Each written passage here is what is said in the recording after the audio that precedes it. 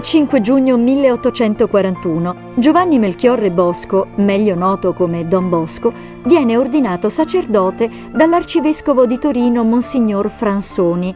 Nell'autunno dello stesso anno, Don Bosco inizia nell'oratorio di Torino la sua opera di educatore, diretta soprattutto ad assistere i figli degli immigrati meridionali arrivati al nord per cercare lavoro. È stato Don Bosco a fondare gli ordini dei Salesiani e delle figlie di Maria Ausiliatrice. Muore il 31 gennaio del 1888. Il 1 aprile del 1934, giorno di Pasqua, Don Bosco viene proclamato santo.